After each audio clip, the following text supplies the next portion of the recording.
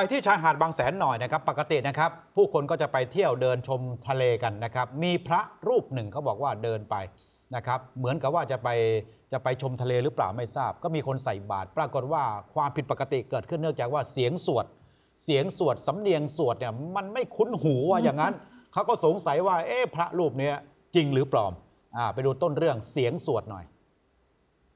พุทธัสะและโมตัสะแกกาวะโต อะระหะโตสัมมาสัมพุทธัสสะและโมตัสสะแกะกาวะโตอะระหะโตสัมมาสัมพุทธัสสะสัพพิติโยวิวัชชันตุสัพพะโลโควินาสันตุวาทีภาวะวันตารายโยความสงสัยทั้งหลายทั้งปวงเนี่ยนะครับ มันก็มีความจริงปรากฏในเช้าวันนี้ เพราะว่าคุณเจมส์นะครับฟังเสียงสวดแล้ว ฟันธงว่า เป็นสำเนียงเหนือค่ะ อ่าเป็นสำเนียงเหนือ คนเหนือเขาสวดแบบนี้ครันะบโมตาสาภาคาวาโตสาวากาสังโฆอะไรอย่างเงี้ยแบบนี้เลยใช่ไหมฮะ แบบเนี้ย แบบนี้เลยนะใช่ อ่านะครับที่ชนบุรีก็ก็ก็ได้เรียกว่าได้ข้อมูลเบื้องต้นละพระคุณเจ้าท่านอาจจะเป็นคนเหนือมาก็ได้ อ่าประมาณนั้นแต่ว่าคนที่เขาไปได้ยินแล้วว่าเอ๊ะเสียงสวดแปลกๆสำเนียงก็ไม่คุ้นหูว่าอย่างนั้นค่ะ อ่าสงสัยว่าปลอมหรือไม่ปลอมจริง หรือไม่จริงหรือว่าเป็นพระต่างชาติมาอยู่ที่นี่นี่นะครับ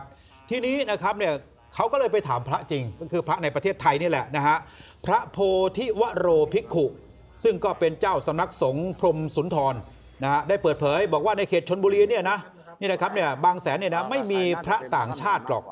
นะฮะเพราะว่าเนี่ยเท่าที่ดูอยู่เนี่ยนะก็จะมีแต่พระลูกวัดเออต่างๆเนี่ยใครที่คิดว่าพระรูปนี้เป็นพระปลอมเนี่ยคงจะไม่ใช่หรอก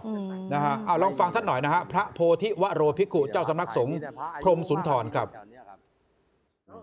พระในคลิปอะก็สันนิษฐานว่าถ้าไม่ถ้าจะเป็นพระเขมรก็น่าจะเดินทางมาด้วยอ่าวีซ่าท่องเที่ยวอะนะ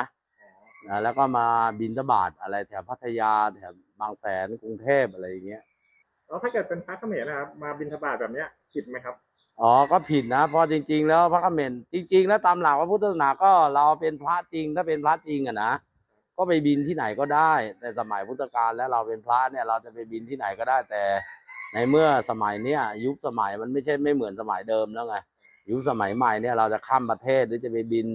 ที่นู่นที่นี่มันก็ต้องทำต้องต้องก็ต้องตรวจสอบด้วยนะครับ ใบสุทธิเนี่ถูกต้องหรือเปล่า แล้วก็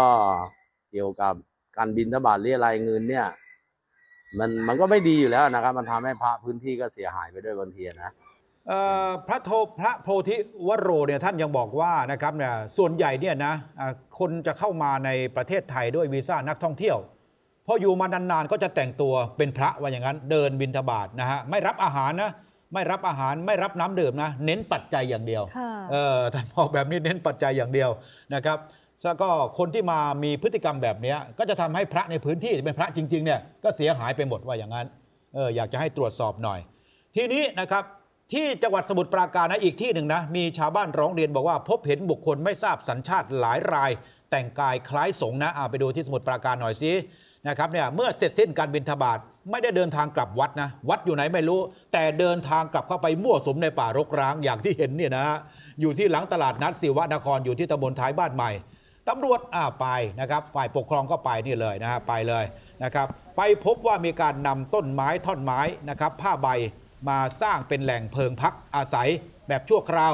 อุปกรณ์จำเป็นในการดำรงชีพนะพบบุคคลสัญชาติกัมพูชานี่สามคนแต่งกายคล้ายพระสงฆ์ไม่มีเอกสารเดินทางนะครับคาดว่าน่าจะเป็นชาวกัมพูชาที่มีพฤติกรรมแบบนี้มากกว่า 3 ราย แต่ว่าไว้ตัวทันไปก่อน เอาเอาขี้จีวรมาห่ม เอาสบงพระเนี่ยมานุ่งว่าอย่างนั้นเถอะนี่ ก็ออกบิณฑบาตทำตัวเป็นพระว่าอย่างนั้นสุดท้ายอ้าว เอาไปให้กับเจ้าหน้าที่นะครับ เป็นบุคคลต่างด้าวเข้ามาอยู่ในราชอาณาจักรโดยไม่ได้รับอนุญาต ค่ะมีเยอะในแบบนี้นะ นี่สมุดปราการครับ คือมันเกิดความไม่เชื่อมั่นว่าพระจริงพระปลอมอะไรก็แล้วแต่เลยตรวจสอบกันหนักเลยนะคะ เห็นอะไรก็ถ่ายคลิปกันไว้ หลายท่านใน YouTube ส่งข้อความมาค่ะ บอกว่าเหนือกลางอีสานสำเนียงส่วนไม่เหมือนกัน แต่บางคนก็บอกว่าเอ๊ะฟังแบบนี้เนี่ยอีฉันเป็นคนเขมรนะฉันรู้เลยเนี่ยเป็นน่าจะเป็นกัมพูชาเหรออ่า อ่าหลายคนก็ส่งข้อความมานะคะ